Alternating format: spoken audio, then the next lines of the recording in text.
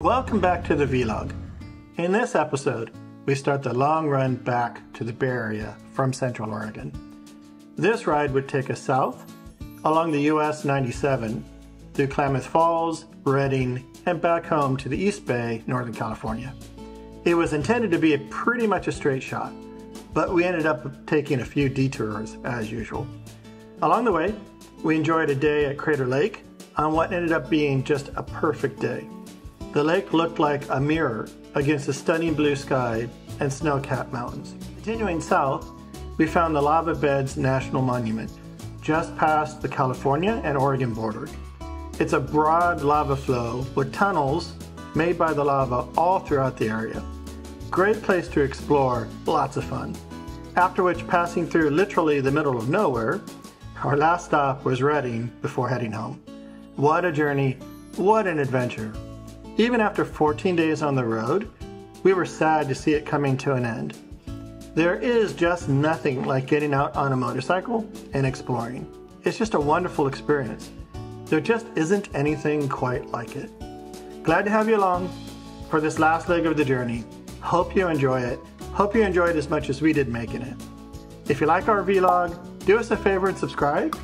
Hit the like button. Help us build out our channel. It makes these videos possible. Okay, with that, let's go.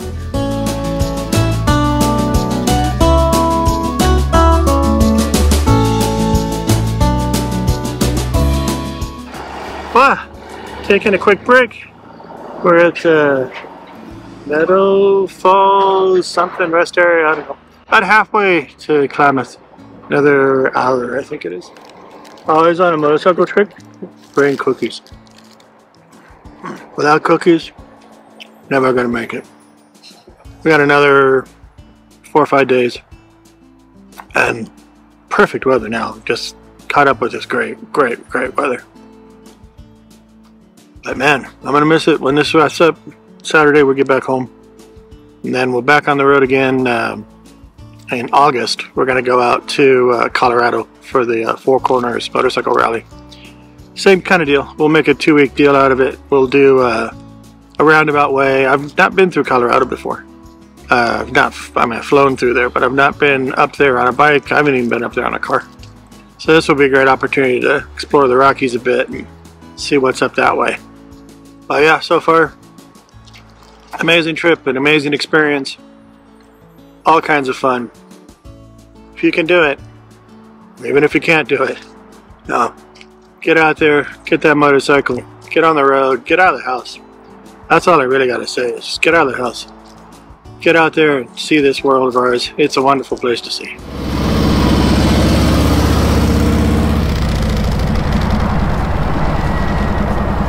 Now we're heading up towards Crater Lake from Klamath Falls.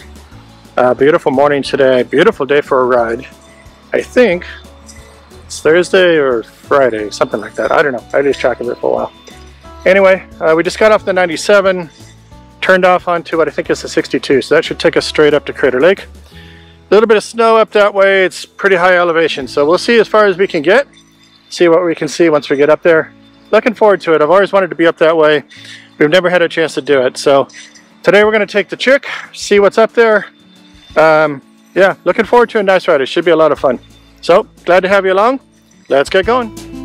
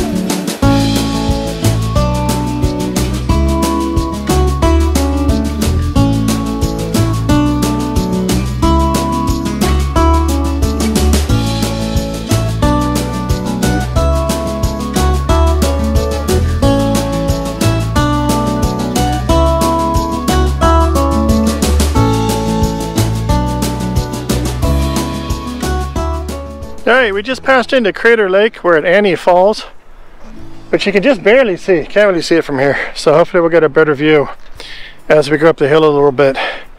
It's amazing. We went from open farmland, kind of high desert scrub, to just really intense forest. Beautiful pine forest all the way up through here. We're gonna keep going, see how far we can get. Beautiful ride today, beautiful weather. Ah, it's great to get out.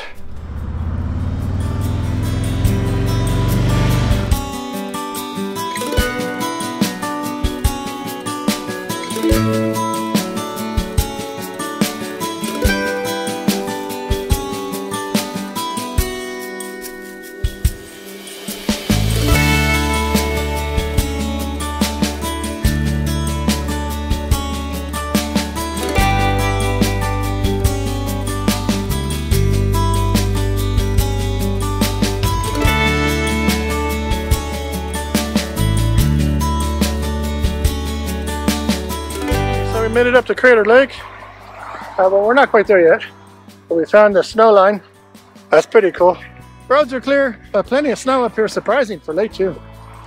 Weather's wonderful though. It's like 70 degrees out here. Uh, man, this is a great drive if you've ever been up here. I gotta warn you though, getting into the park took a while. That was a long line.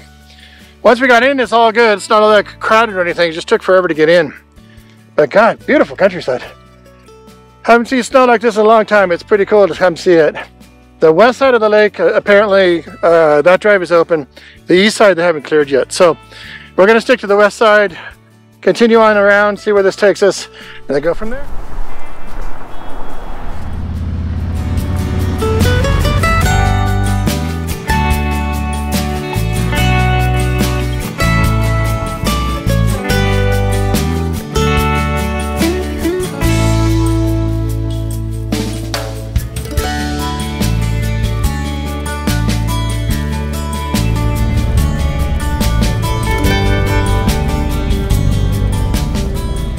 And this place is amazing. I had no idea. Never even never been up here before. Looks like a big giant mirror sitting in the middle of the mountains. It's the coolest thing I've ever seen. Tell you what, when I go see the world, this is the way to do it.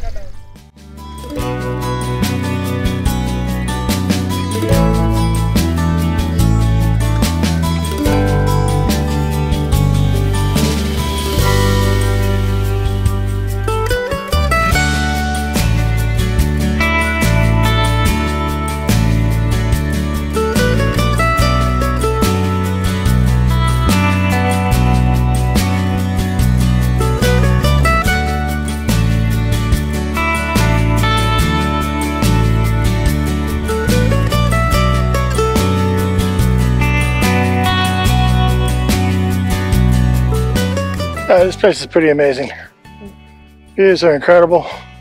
Lake is unbelievable. I expected crowds, it's not that way. If we'd come up here a week ago, this had been sleet and snow. We probably wouldn't have been able to even get in here. Oh my gosh. Sometimes it just works out. You know, we saw the painted hills. That place is gorgeous. This place is gorgeous. Amazing countryside. Whether it's high desert, whether it's the coast, you like the outdoors, Oregon has definitely got it.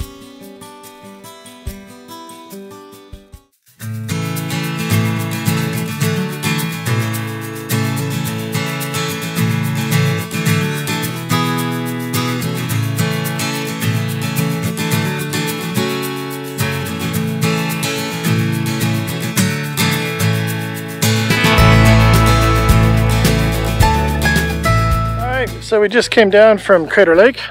That place is crazy beautiful. Uh, back down into farm country. We're going to be heading back into uh, Klamath Falls. Pretty beautiful countryside. I tell you, pretty amazing. Hey cow, what do you want? God, I love this place.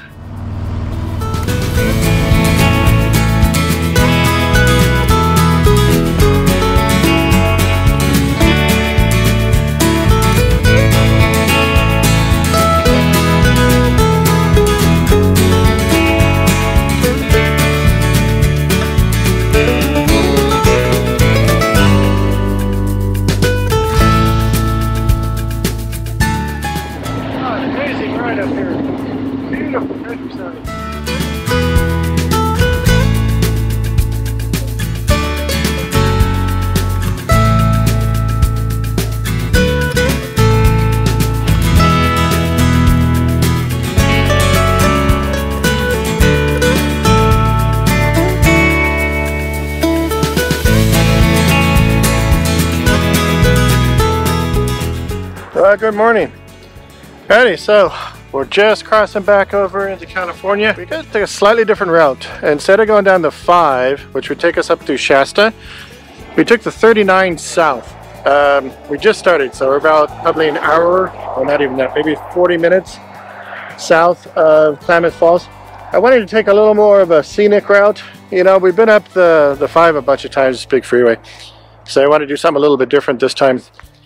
Um, but we got a couple of hours on the road, about three hours, give or take, uh, a little bit more, maybe three and a half, depending on how many places we stop.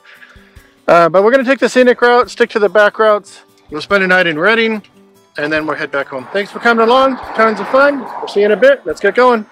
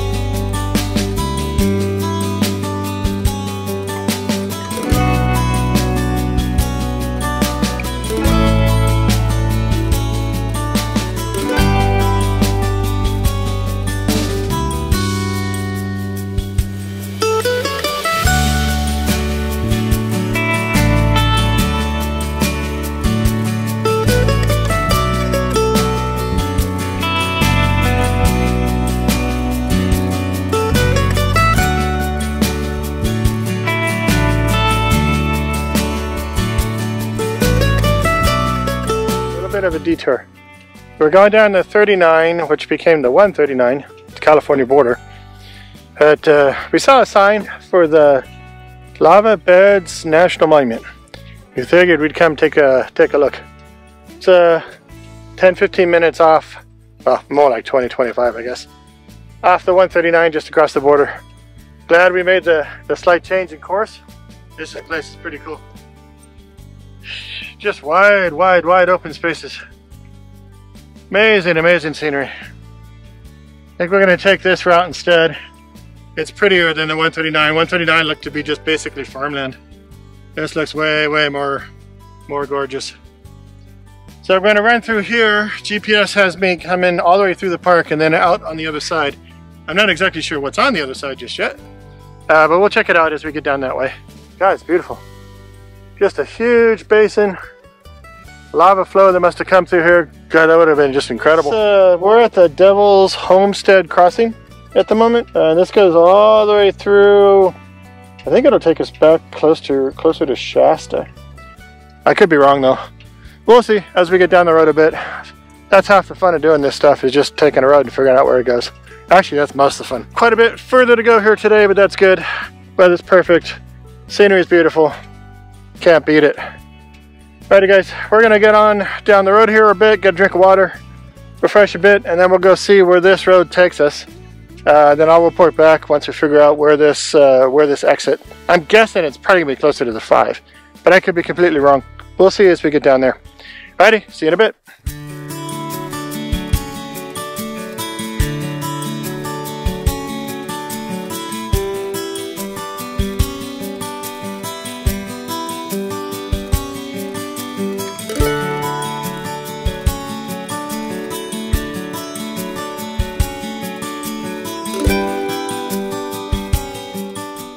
We're at the Lava Beds National Monument.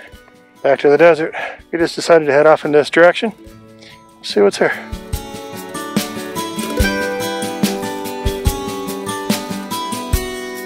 Beautiful out here. A little bit hot. Desert, like desert for real people kind of desert. Beautiful countryside.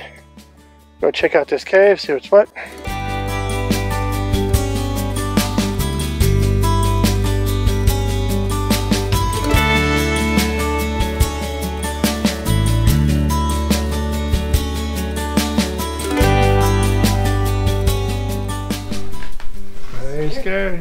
Bring bright lights though, so we can't go very far. That's alright, we can see. Whoa.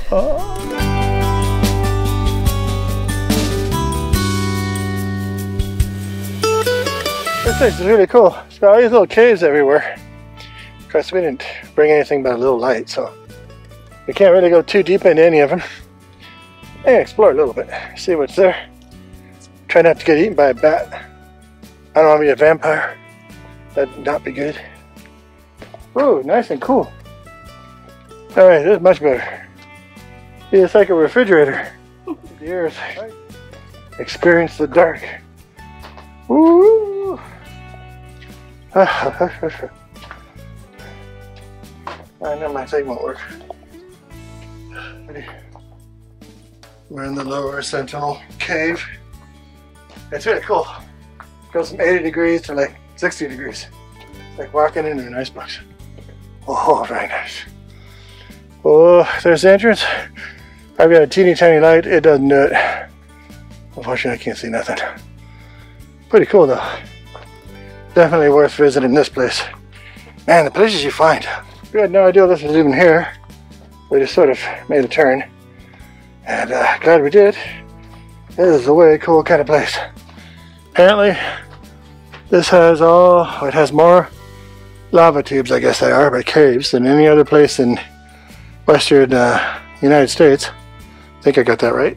It's really cool. It's kind of creepy, but it's really cool. Look how they, uh, I don't know if the camera can pick it up, but you can see the lava formations around the cliff or around the entrance to the cave. And a hot, on a hot desert day, this place is like gold there. And I kind of cooled off a little bit. Way cool. Alright, back to the land of the living. 20 degrees at least cooler in that uh, cave. Back up to the bike, see what else is here.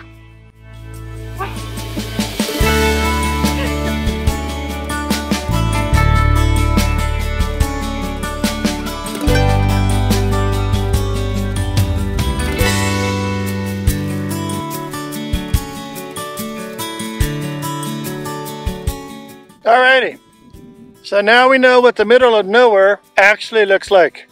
This is the middle of nowhere. So it's about 10 miles on this uh, single lane road out in the middle of nowhere. Uh, yep, if you really want to get a sense of what nowhere looks like, we just found it. This is it.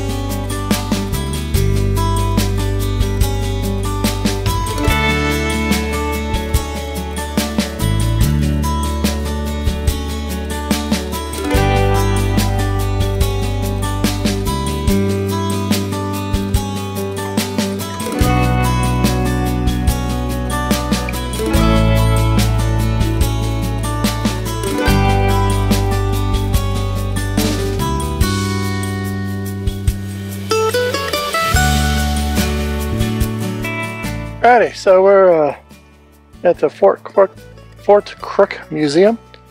It's 70 miles from Redlands. So we ended up going back on that 139, uh, and then it, uh, which is I guess heads towards Susanville. And then we came over the mountains into, uh, goodness, Falls City, I think, and then Fort Crook. I'll have to get the directions uh, more correctly. Beautiful ride, but long. Just uh, high up into the mountains and then back down into the valleys. Wonderful ride right through the countryside. There is nothing out there. And if you want to get a sense of uh, getting out in the middle of nowhere, that'll do it. Anyway, we're going to rest here for a little bit, take a quick breather, get a cool bit to drink, and then we'll be on our way. Ready? Let's get going. Well, good morning. We're just getting packed up on our last day. We uh, stayed here in Redding at the Hope Inn. Lovely little place nice little place to stay. It's not a common hotel, it's kind of like a Airbnb really. But really, really pretty. It was uh, 104 degrees yesterday. So it was just incredibly hot. Uh, we're going to try and get out a little bit early, see if we can beat the heat today. Uh, a little bit sad. This is our last day. Quick trip down into the Bay Area uh, and then home.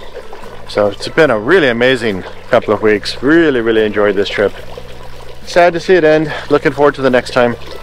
But um, just an amazing ride up the Oregon, along the coast, Central Oregon, across the Cascades, etc. Just beautiful, beautiful scenery.